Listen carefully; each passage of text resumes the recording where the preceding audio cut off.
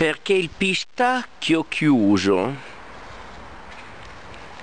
Vedete col piccolo buchino così che te apri non si riesce ad aprire.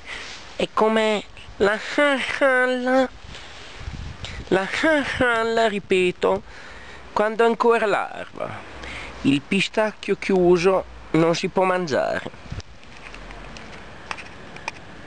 Neanche con i denti il pistacchio chiuso è anche più buono del pistacchio aperto. È come la la appena quando è ancora nuova. Il problema del pistacchio chiuso. Rompete il guscio e assaggiate come il pistacchio chiuso. La la